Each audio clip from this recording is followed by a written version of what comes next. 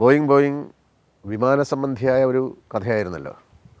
അപ്പോൾ തങ്ങളെപ്പറ്റി ഒരു സിനിമ എടുത്തു എന്നുള്ളതിന്റെ പേരിൽ ഈ വിമാനങ്ങളുടെ ആത്മാവിന് പ്രിയനോട് കുറേ കടപ്പാടുണ്ടെന്ന് തോന്നുന്നു.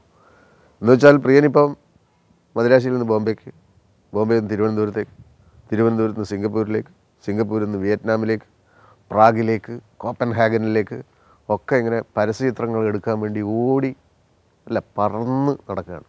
എന്ന് വെച്ചാൽ ചുരുക്കി പറഞ്ഞാൽ പ്രിയന് വിമാനത്തിൽ നിന്ന് ഇപ്പോൾ ഇറങ്ങാൻ സമയം കിട്ടുന്നില്ല. ആദ്യത്തെ വിമാനയാത്രയ്ക്ക് ശേഷം വളരെ അത്യാവശ്യ ഘട്ടങ്ങളിൽ മാത്രമേ ഞാൻ വിമാനത്തിൽ യാത്ര ചെയ്തിട്ടുള്ളൂ. ഒരു തവണ തിരുവനന്തപുരത്ത് നിന്ന് മദ്രാശിക്ക് പോകുന്ന വിമാനത്തിൽ കയറിയിട്ട് ഇതിങ്ങനെ ഒരു ഏഴ് മണിയോടടുത്ത് സന്ധ്യയ്ക്ക് മദ്രാശിയോട് അടുക്കുകയായിരുന്നു. പെട്ടെന്ന് വിമാനം താഴോട്ടൊരു പോക്കാണ്. ആ ഞാനടക്കമുള്ള യാത്ര ചെയ്യുന്ന ആളുകൾ മുഴുവൻ കൂട്ട നിലവിളിയാണ്.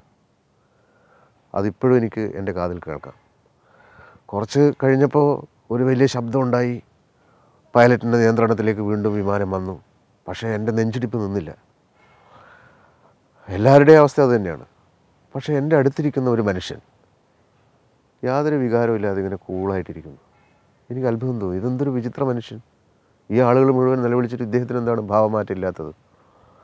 ഞാൻ മടിച്ച് മടിച്ച് അദ്ദേഹത്തോട് ചോദിച്ചു ഇങ്ങനെ വിമാനം താഴോട്ട് വീഴുന്നതുപോലെ വീഴുന്നത് പോലെ വന്നപ്പോൾ താങ്കളങ്ങനെ ഇങ്ങനെ കൂളായിട്ടിരിക്കുന്നു? എന്ന് ചോദിച്ചു.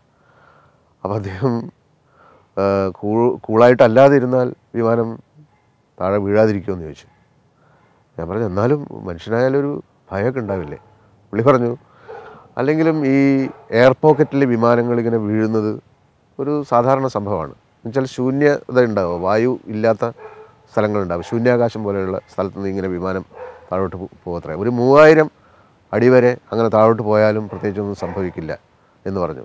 ഈ മൂവായിരം അടി വരെ താഴോട്ട് പോകുള്ളൂ എന്ന് പ്രത്യേകിച്ച് നിയമമൊന്നുമില്ലല്ലോ. ഇത് ആകാശത്തിലുള്ള കളിയല്ലേ. ആ എന്തായാലും ഞാൻ ഇത് പറഞ്ഞതിന് ശേഷം ഞാൻ അദ്ദേഹത്തിന്റെ മുഖം അപ്പോഴാണ് ശരിക്ക് ശ്രദ്ധിച്ചത്. എവിടെയോ പരിചയമുള്ളത് ഫോട്ടോയിൽ കണ്ടിട്ടൊക്കെ പരിചയമുള്ള മുഖം.